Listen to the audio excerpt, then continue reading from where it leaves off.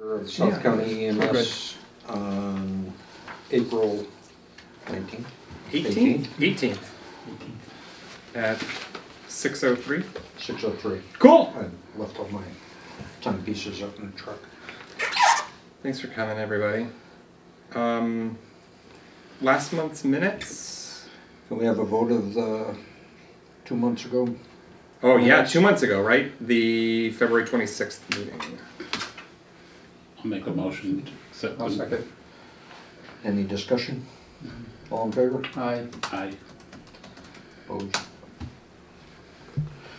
And we have the uh, Zach report. The Zach report, short and sweet. Um, not much going on. As I say, we're in the middle of budget season, but um, since the last meeting, um, what has happened? Bay State Health down in Springfield.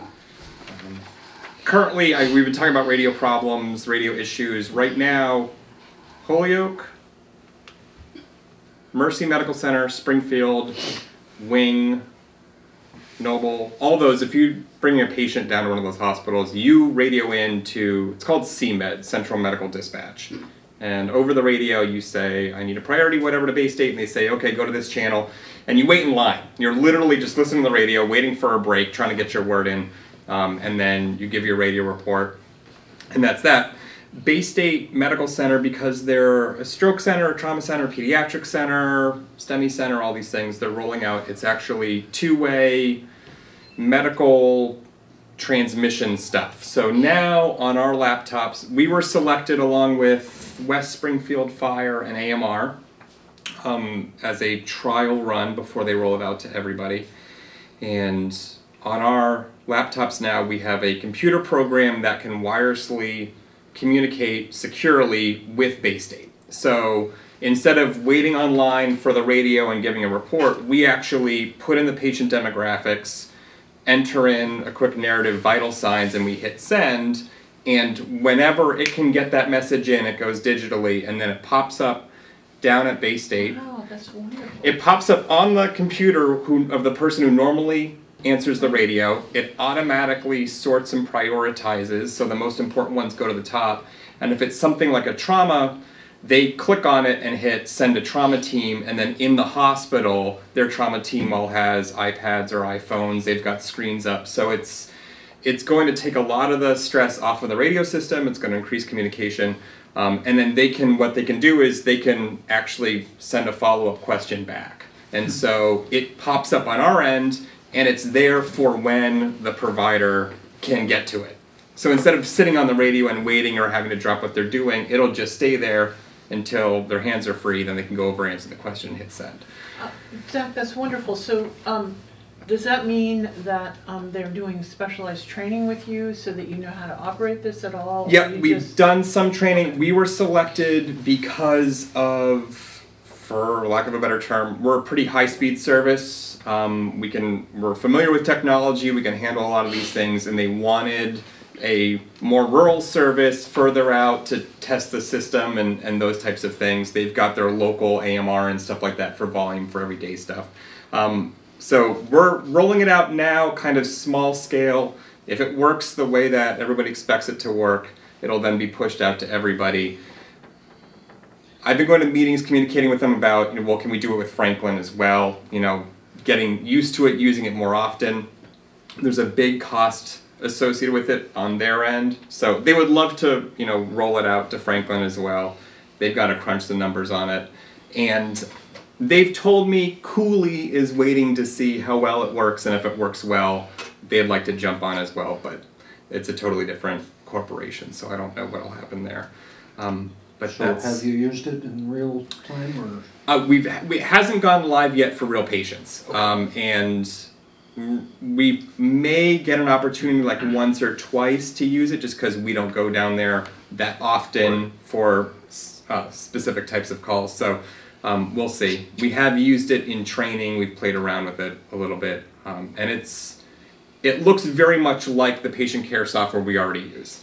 You open it up, you put in some demographics, and you hit send, and that's um, that how it goes. Um, they also do part of the program is it's all GPS tracked, so they can do it's called a geo fence. So if the, the trauma team is waiting for our arrival, we can hit send up here. We're not going to be there for who knows how long. But once we cross over some imaginary line in space, like across the Connecticut River or something down in West Springfield, then on their end it shoots an alert up and they say, hey, the ambulance is 10 minutes out. And so they know that in real time. We don't have to call back or give them updates or things like that. So that's very cool. Yeah.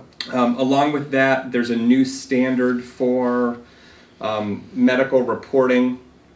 There's this thing nationally, it rolled out a number of years ago, but the federal government wants to collect data about emergencies, medical emergencies pre hospital, just so we know where to spend our grant money. And part of that is collecting more and more data anonymously, and starting this year, the next level, even more data is being collected.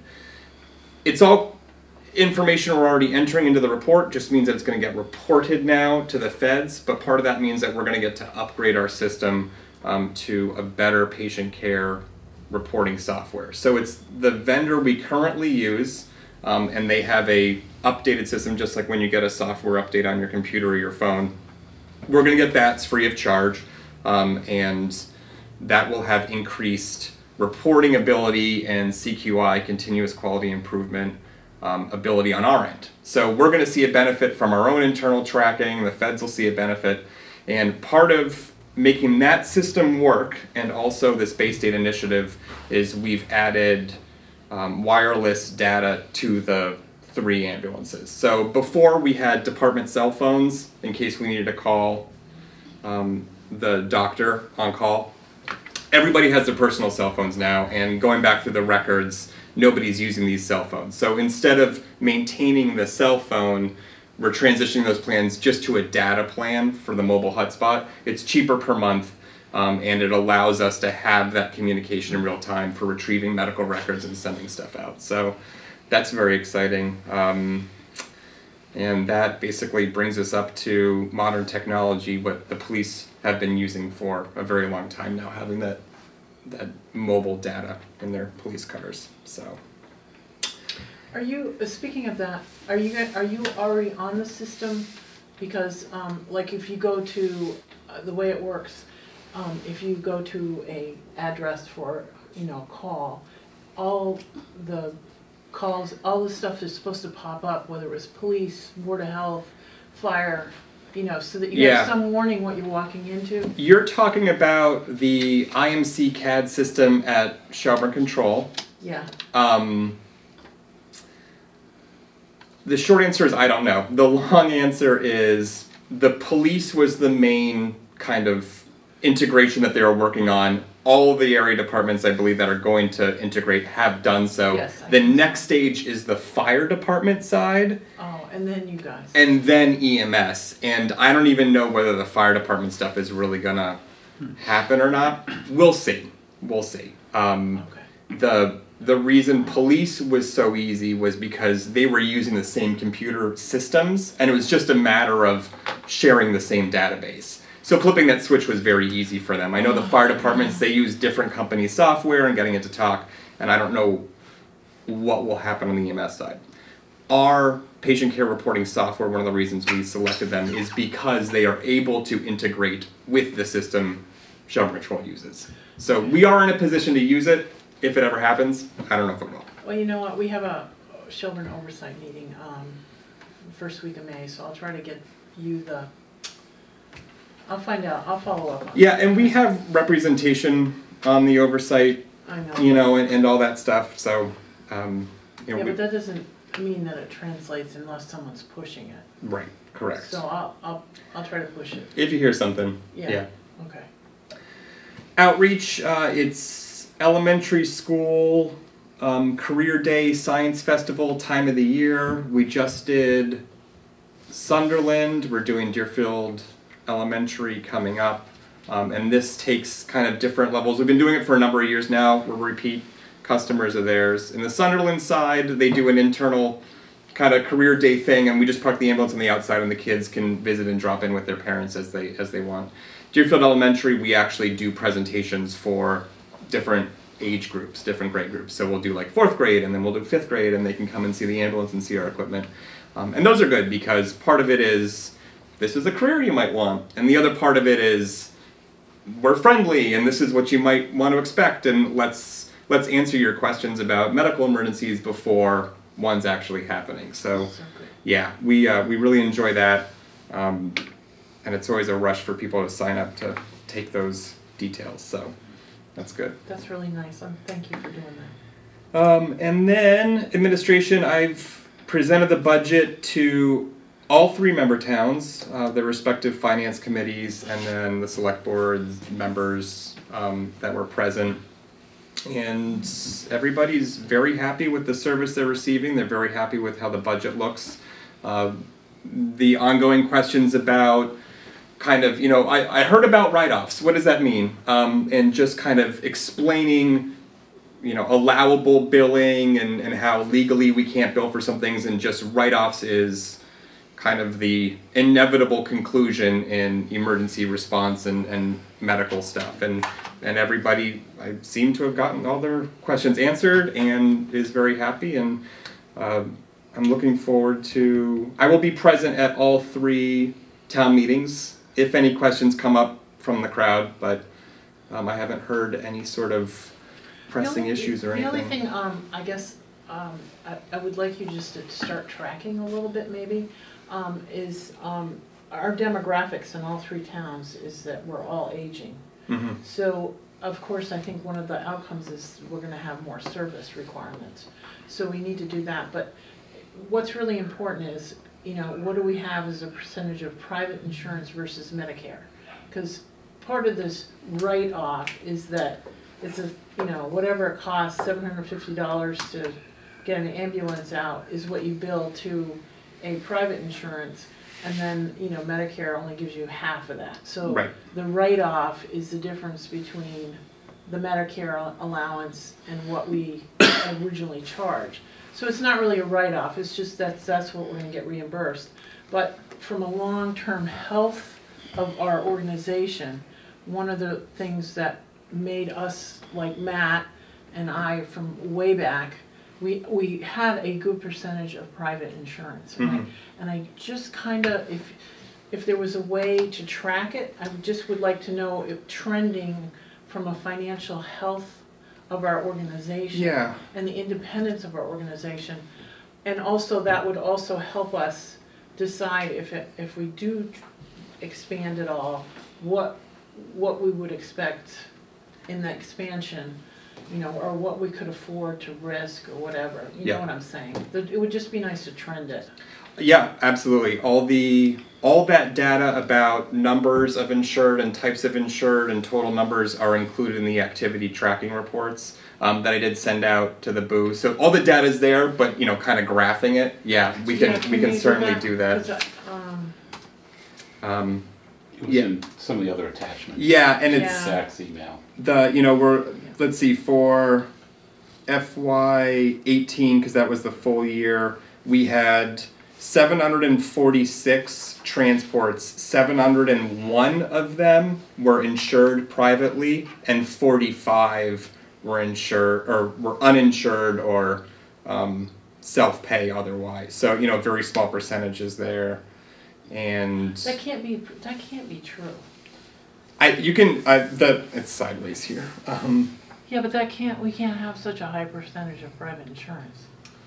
Oh, That so, has- oh yeah, sorry. So yeah, Medicaid. Okay. Oh yeah, it's all right there. Yeah, you're you're absolutely right. So Medicare, 701 insured patients of that Medicaid, Yeah, Medicare sorry. counted for over 400. But yeah, Okay. yeah, it's all there. Yeah, Okay, so what we need to do is probably, it would just be nice to keep a graph yeah, and right. just see where we're trending. And I think I heard or read recently that the average age will be increasing at least until 2050. I think so. Well, well, yeah, but we're gonna ha- we'll We have the keep hoping. twenty twenty census relatively, Yeah, you know, by twenty twenty-one. Twenty So, twenty-four. so we'll have, we'll see how accurate that is versus what the projections were. Um, cause they're projecting us all to have much, a huge increase in our elderly population, or over sixty-five population. But we don't know if that's really gonna hold true, so we'll see what the census says, and then we'll look at our trending. And that should set us up so that we make good decisions on what some of the financial decisions would be for. Well, Yeah. We've got a full-time paramedic service, so we're keeping people alive longer. well, we're gonna be busier, but, Yes. but what, what are we gonna generate for revenue? I mean, we, we need to be able to, um, forecast the revenue Yeah. a little bit more accurately and, you know, that kind of, I mean, it's just, just a statistical thing to keep. I mean, no one knows what goes on really, but, um, if we have a little bit of trending information, that will help us make some long-term decisions maybe. I think financially though, we're doing very well, so, um, I'm not really worried. But we just have to make sure that we don't get such a mix of Medicare that, then we need to look at what we're doing, maybe, Yeah. And uh, wrapping up the financial stuff um, and following up on the conversations that we've had previously. So there's the two things that I put in this administration. One is um, currently we our options when Comstar gives us the reconciliation report is write off and or um, report to a credit bureau that it's being written off. And our uh, collections policy that we enacted recently outlines when we would choose one or both of those options. The third thing that our policy allows for and outlines a method for is sending to a collections agency. Um, and we currently don't have any sort of agreement or affiliation with a collections agency. So I talked to Comstar about that. One of the reasons that we've been very happy with them and selected them to begin with is because they do have a relationship kind of in house. And I included a copy of their affiliation agreement contract um, for review. It's First Financial Resources. It's it's a separate company, um, and they are affiliated with Comstar so that everything is still reported and handled through Comstar. So instead of us having to peel off these accounts and move them over and reconcile two different pages, anything that um, FFR, First Financial Resources, receives or anything like that, they report back to Comstar, and then when we get our monthly reports from Comstar and they go to Brenda and to me, that's all included together. All the payments are made to Comstar. Comstar makes all of the deposits directly into our account from them. Um, they've had a long relationship together. It's the type of thing where um, nothing would go to FFR unless we, per our policy specifically, line by line, say this this account we want to go to FFR, um, and then their terms are they would collect uh, 33 and a third percent of whatever th- that's their share, and then they deposit um, the net difference. So we don't get separately billed by FFR or anything like that. They if they collect hundred dollars, they then give us sixty six dollars, and and that's the end of it. So that is the affiliation agreement um, with them. And that, are- that means that we actually lower our normal receipt costs? Uh, no, this shouldn't. Uh, oh, that that's so that's something different. Oh, okay. Yeah, I'll get to that in a second. Um, so this was, you know, my So you don't have to do both to do it? No, no, no, no, not at all. These these are totally separate things. Um, so this is, you know, my recommendation is this isn't going to cost any additional money. Okay. If anything, it would be a means for us to collect more money that that small percentage that we would send to collections. Um, and I just don't know. I, I, I don't see a downside um, to this. I just don't know who's authorized to sign that or People- enter into that. When they get into collections, some people hear thirty-three percent is what the company keeps and think, oh my god, they're keeping a third of it, you know. What they don't understand is what that entails, is they're going to make multiple phone calls. They're gonna look for any way possible to try to recoup that money, being if labor it's. intensive. Sure, if it's small claims, if it's attaching to wages, garnishments, whatever they Mhm. need to do, and all that, like you said, is very labor intensive for somebody to do. To hire somebody to do that, and maybe they have some success, maybe they don't, it's another body on payroll that you need to worry about. Right. In this way, we don't pay anything, we just get two-thirds or whatever they're able to collect after we've exhausted Right.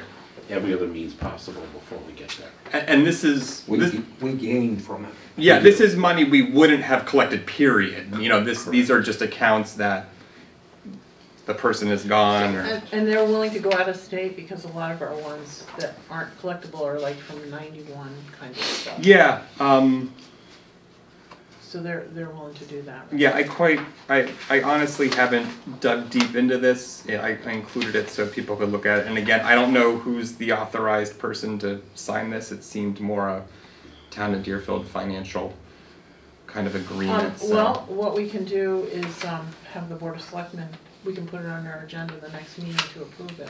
Yeah, Okay, is that, would that be all right, Kim? Yeah, sounds like a plan. Um, and then segueing with this, I was actually I, I like Comstar a lot. I keep saying that. Um, I was on the phone with our account person for an unrelated matter, um, and I said, "Hey, and by the way, our percentage, what's the what's the deal with that? You know, is it- our call volume has gone up considerably over the years. You know, is there any? And she's like, oh, you know, like I'm not authorized, but let me let me check with the president. Um, we currently um, pay six and a half percent to Comstar. They send us a bill for for any money that we collect. They sent us a bill for six and a half percent of that. Um, so I said, yeah, just check into it for me. Um, and she came back uh, within a half an hour and said, yeah, Rick Martin, the president, said um, we can do four percent, no problem. Here's a new contract for four percent. Um, and I was like, oh, all right. Um, I included that contract. Right now, we are on a year to year. Um, We signed a three year contract many years ago, and we've just been on a year to year. This would be a new three year contract at the 4% with year to year after that. Um, this to me seems like a no brainer. No brainer. Um, again, a town of Deerfield financial thing, so Um, do you Um, have, let me have that. I've got copies of both, even electronically. So. No, okay, so I'm just gonna take those, we'll, we'll put it on the next agenda, Yeah. agenda, so we can You switch bring it to over. Diana Yeah. tomorrow or Monday? Oh, or are something? you, are you gonna go in tomorrow? To the town hall? I, I will, but I'm not, I didn't know. Yes, Oh, to answer your question. I give you that? I guess I was trying Congratulations, you've been called no, I was, I was processing the way she said that, to- like I was supposed to be there for something else, and I was No, no. I like, can see the No. wheels spinning. It's I'm like, like, wha- what what am I meeting am I missing? missing? Yeah. No, no, okay, no, no, I was not going in Are we tomorrow. 'cause I painting have Easter to cook. eggs? Am I hiding stuff? What's going No, on? no, I gotta Yeah. cook tomorrow, so listen, that would appreciate if Okay, you could no, drop that's- that I can off do to that. Diana and tell her to put it on the The agenda. Both of them, okay. Um, and we'll just take care of it, cause it makes, it's just total financial sense. Yeah, Mhm. I just yeah. And uh, that's it for me. That's my director's report. That's everything I had on Okay. Um, the only thing I was, I was just curious why there was such a, I mean, it- was there anything unusual that happened in Deerfield this past year? We had a big jump in number of transports, the. Uh, seven hundred and seventy-four, that's huge. oh, for for 2018. Yeah, we went from six twenty to seven seventy-four. This is, this is, that's quite a lot. Well, we've gone from 700 to oh sorry. Go down lower. So 594 in 2015, 702 in 2016, 715 in 2017, 774 in 2018. But I mean, that's our that's our 10 to 13 percent increase every year in calls. I mean, that's No, isn't that six twenty for Deerfield down? Right, oh yes. You're talking about Seven the trip. seventy-four is. oh total transports. Oh Yeah. right, sorry. This beard is doing weird things to my brain. I Yeah. can't. I don't know, we went, we went, yeah, but see, we went from fifty. 552. To six twenty. Right. Yeah. Yeah. In Deerfield. And, and, and, uh, we start, you know, a couple of years ago, we were four ninety-one, and then four ninety, you know, Yeah. four twenty-nine. Um, And then It's so the all of old a sudden, adage, we build it and they will. I come. that's a lot of it. I Yep. think so, Abs, a hundred percent. Oh, yeah? Oh, yes. okay. Uh, there are, word gets out that they're gonna get Cracker Jack paramedics within a few minutes. Why would you do anything but call nine one one? Yeah. Um, No, that's, With or without the I, I practice? just, Yeah. I just didn't know, I didn't know if you Oh, you get the brush. observed that. you know, and there's, uh, what is it? Uh, the famous adage, there's three types of lies, lies, damn lies, and statistics. You know, so when you're looking at these numbers, it, so, some things look like they stand out. I don't know why that But number There's is just nothing. It may be something, it may not be something. Okay, It might have been, you know, one large group that came through Yankee Candle or something, and We keep going up like ten percent or more. so. At least ten percent. I think it was thirteen percent Well, from that's last what, year. actually, and we did predict that Yeah. this was gonna happen. Um, so at what point, so now for two thousand eighteen, you're at eleven ninety-four. And wasn't it around thirteen or fourteen when you, hundred, when you got up to there, you had to put on another ambulance more? Wasn't that what we were talking about years ago? It was an average about three runs a day, three and a half runs a day. Yeah, uh, yeah, yeah. I, So we're not quite there yet.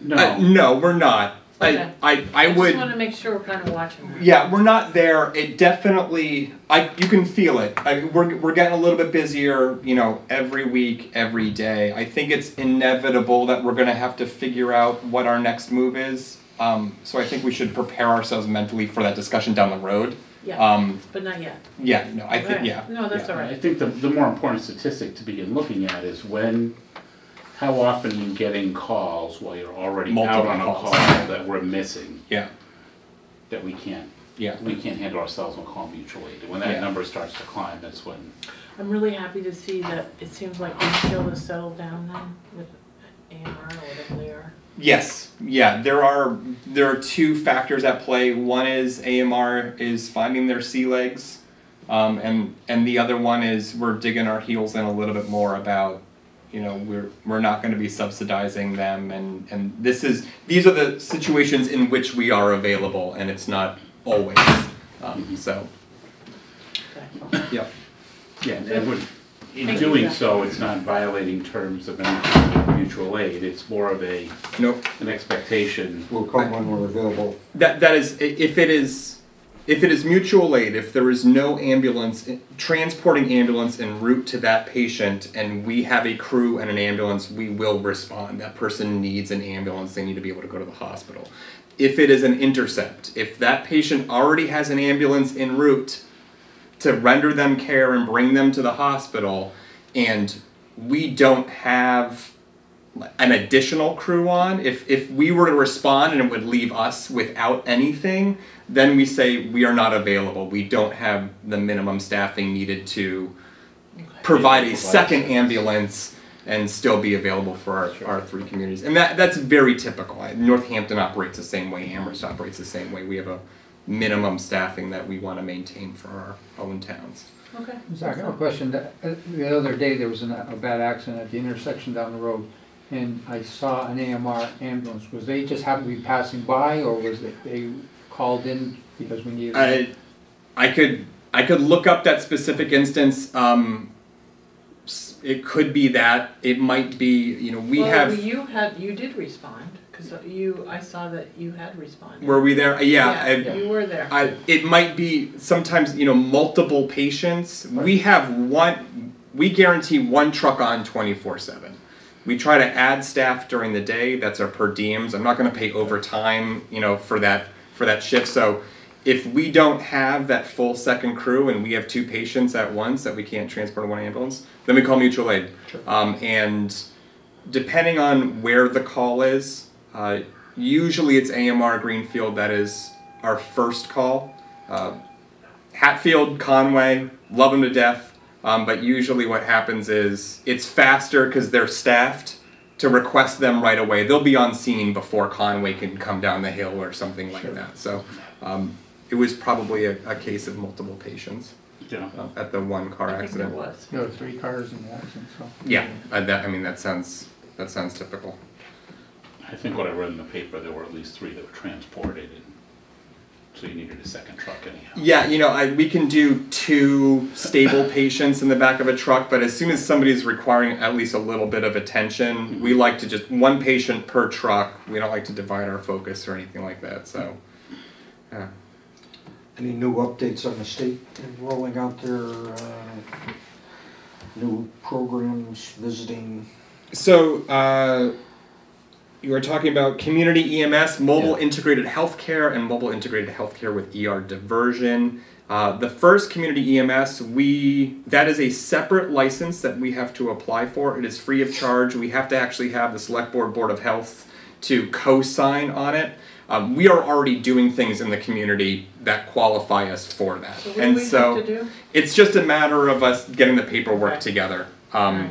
And and we'll be able to put the stamp And on it. what did you call it? That's community EMS. Okay. Um, the and that those are the things that we're doing right now, which is the elementary school. You know, like education that counts. The Stop the bleed. the stop the bleed training counts. Our fall risk assessments that we do for patients, those count. These are all things that we're already doing. This How about the Senior senior, senior center? senior center, absolutely. The, so the, now there's a name to it, um, and and we can. Well, that's easy Stamp that. because we want you to do that. It's too. very easy. Yeah, absolutely. The the the next levels are yeah. So it's it's the type of thing where we're already doing these things right now. It's not we just And, and so that's called community EMS. community EMS. That And that's yes a designation? yes. So the idea being that we are we are a public health entity. We should be doing a lot more for our communities than just waiting to respond when somebody has an emergency. And um, Well, that's no problem. it's no problem. We're already doing it. Um, Right. So um, it So then what's the other one? So the other one is called Mobile Integrated Healthcare, MIH. And this is where they're trying to get EMS services to do the doctor house call type thing. So Well, we were talking about that. so we were talking about that. Let's Yeah. talk about how the dust settled on that. They do Um, it in other parts of the country already and doing it well. doing it well. Um, the the idea is if you go and somebody's had the flu for two weeks, why would we automatically just transport them to the emergency department? Would they be better served by making an appointment with them at the community health center tomorrow or type thing? You know, and and, and well, doing we that type of talking stuff. about as a follow up, like if someone post op follow up, because now when you Yes. go to the hospital, they get you through and chuck you home, Right, and there's no. right. And a lot of times, if you don't have an advocate and you're older, it's so confusing. And people, So- I mean, we're going through this with my And parents. Zach's been on a few of those calls. Yeah. Yes. So the way that this has to work is that the EMS service service has to be associated with a physician, somewhere a doctor that can sign off on on what is happening in the field. Those follow-ups things working right now we have an affiliation with a doctor that allows us to provide emergency care and transport to an emergency department. So if you Which need doctor is this? Dr. Benson? uh, Wook Beltran out of Oh. Bay State. Oh. Um, in order for us to do these other services, you need to sign on with a doctor, and the state said, or basically said with their actions, is that they want to make sure that the services that are taking this on are capable of doing it financially, have the backing of a hospital or you know related physician service, um, and are committed to doing it.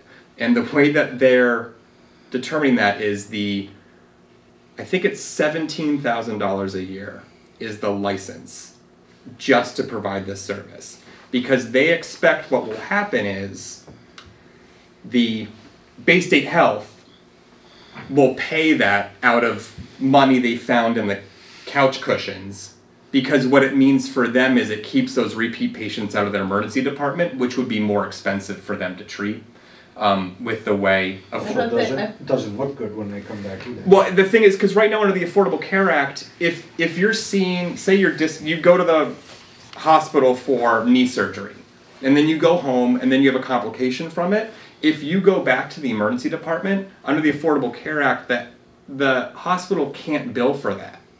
They're responsible for your well-being. Okay. And so it's no, it it makes sense because it's it's an incentive for the hospital to take care of their patients. Because before you came back in through the ED door, they're like, "Great, we get to bill you again." Yeah. Um, But so- the ambulance service would be able to bill. correct.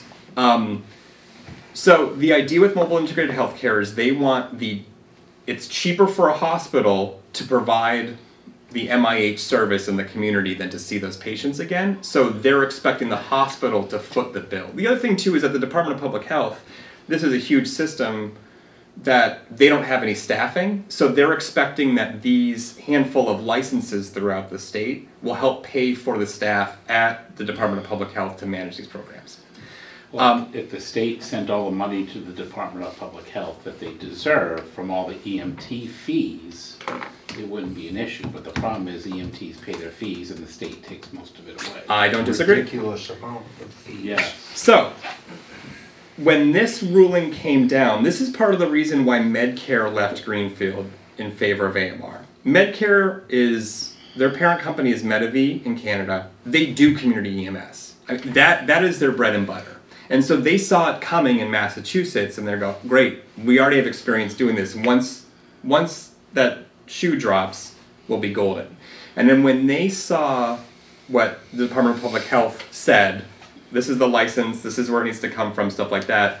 Medavie said, oh, th- this is this is hospital based. This isn't something that we're going to really be able to do. And that's when Medavie left and sold to AMR.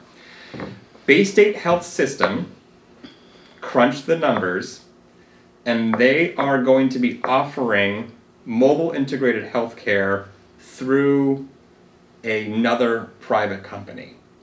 So they are they have a division in Springfield. They are advertising currently to the patients that Bay State is responsible for down in the Springfield market, and it's going to trickle up to Franklin County, and and that that's how it's rolling out. So these services will be available eventually, hopefully, in rural Franklin County to our constituents, um, but we should not expect mobile integrated healthcare to come out of South County EMS, AMR, Greenfield Fire, Turner's Falls Fire. It's it's cost prohibitive, and we wouldn't have the backing of our affiliate hospital to do it. They would have to sign on to the license with us, and they've already figured out how to provide the service um, without us.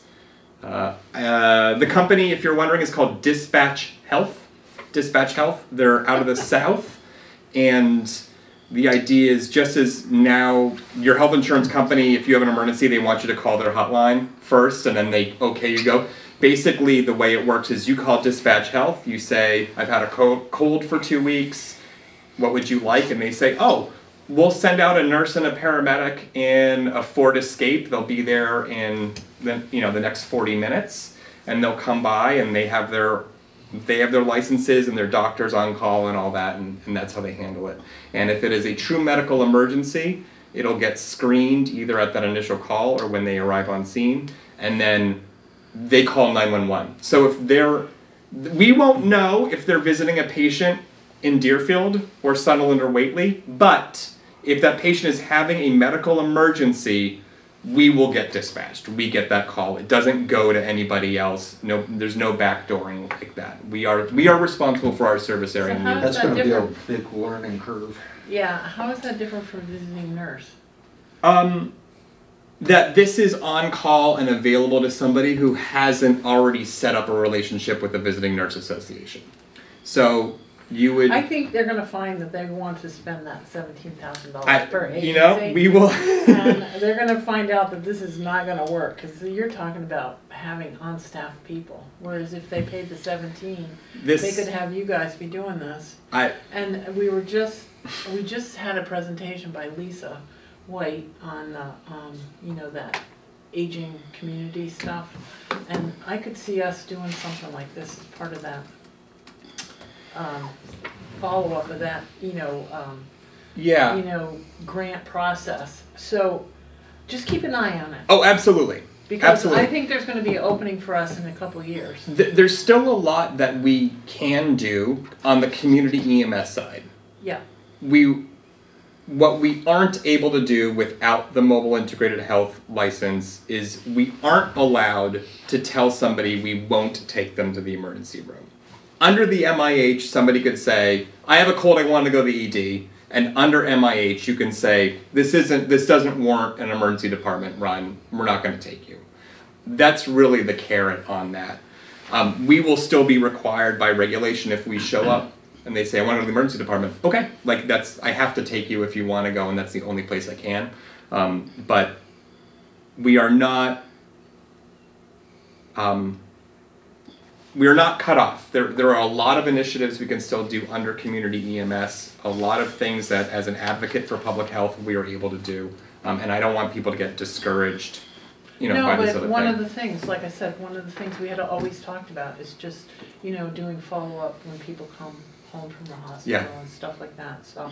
I'm actually pretty excited about this, cause I don't think what they're setting up is gonna be fiscally responsible Yeah, for them. I mean, they're, they'll try it, it's gonna cost them a lot more money. there's there's a lot about private healthcare. I don't understand how anybody can make it fiscally, you know, So- responsible. But um, But having Yeah. you in the community and knowing the community and for seventeen thousand, that would be a, a huge, to me, Yeah. it's a bargain. Yeah, you know, and to really to launch something like that, I mean, part of it is, you know, with that buy-in, they want to know that you have the staff behind it. You have the equipment behind it. I mean, there would be that license only costs $17,000, but we'd have to add staff. We'd have to add equipment. We'd have to add training. You know, like there's a lot of costs associated with that. That is a that is a large It is. ask. But Um, that is also like the next level, and that would Yes. help us afford the next level, so just keep an eye Yeah. on it. It's the next level too, because what it does is it gives your backup crew during the day mhm. ways to be out in the community, Right. taking care of patients. And producing The revenue. additional, yeah, the revenue helps, but, you know, and and I said that, I- I'm sitting here weighing out the continuity of care. It's great when our folks get to know the people who have had, or have medical conditions, so when you get called, you've got all that data, and you know what you're walking into, And and you've got a Yeah. baseline. Right. Yeah. I can understand the hospital wanting it because they've got the data on their end and they want the baseline and they want the information as well. Speaking of the revenue thing, um, and related to this, Medicare, federal government, just announced within the last four weeks a reimbursement model for community EMS in Medicare, which is groundbreaking. Uh, They, they are acknowledging that this is where the future is going and that right now we can only bill and collect money if we take somebody to the hospital. If we stay on scene with them for an hour, you know, bandage a wound, whatever, and then leave and don't transport them, we can't bill for that. Medicare is saying there should be a means for that. You, you've provided a service, you should be able to bill Medicare for it. The catch is, my understanding, they will deny paying for patients that are taken to the emergency department if they could have been managed at home.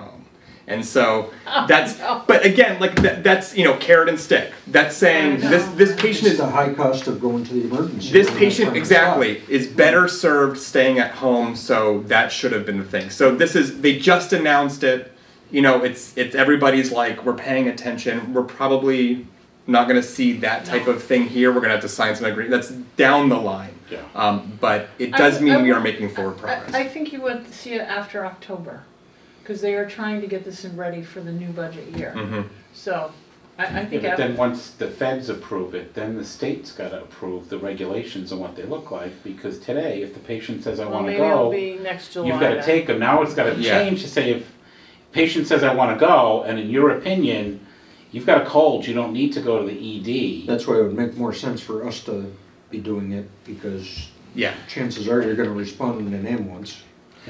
Well, and then you'd have to you, you know, what happens if their private insurer doesn't offer that? You know, and now are we in the business of asking a patient whose insurance they have and then checking the chart to see, you know, what services are covered? Right. But you there's know, nothing you can do about that, you might, Yeah. it might end up like that. Right. So But that's okay, but I, maybe you're right, the state, I had forgot the state, so maybe next July, by We'll next see. July, maybe, it'll be okay. it's coming, and I'm Yeah. excited about our healthcare getting better in this country and people getting the services that are more appropriate for them, and then lowering the burden on everything else. Um, I I just This is part of it, so I'm really Yeah. appreciative, Poor yeah. hospitals will be thrilled when uh, the former CEO at Franklin, I'd spoken to him years ago, and he said his biggest issue were people using the emergency department as a regular doctor.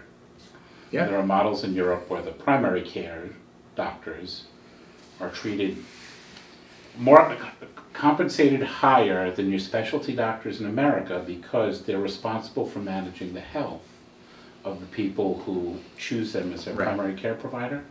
And not to keep them out of the hospital, but keep them well longer to avoid Yeah. having to spend time hospital. Yeah, and some one of the terms that's we don't have health care in this country. We have sick care in this country. That like everything is patterned around you getting ill and then me making money from it. And and right, exactly. How do we Oh, prioritize? man, you don't go to the hospital, only sick people do. Oh yeah, right, exactly.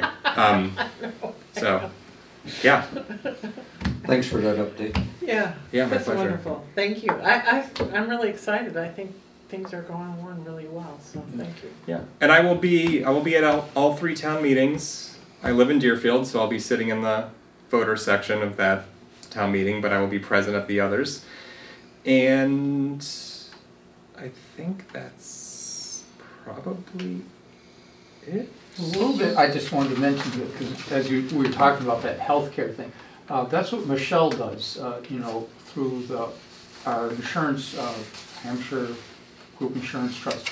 She works closely with Blue Cross Blue Shield, and she does go out and make sure that people, you know, they eat well, they exercise well.